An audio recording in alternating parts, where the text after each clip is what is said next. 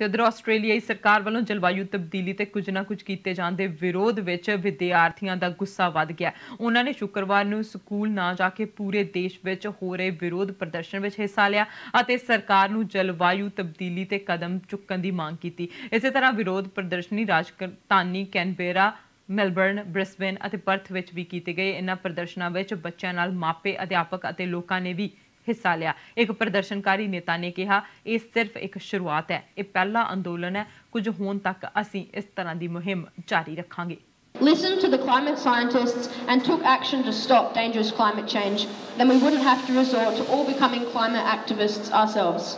Well, Mr. Morrison, it looks like you've finally achieved a marketing success. I'm not a climate scientist. I like to make films about wildlife, and I can see how fragile our ecosystems are. It makes me sad, and it makes me mad to think that it is all being destroyed for profit.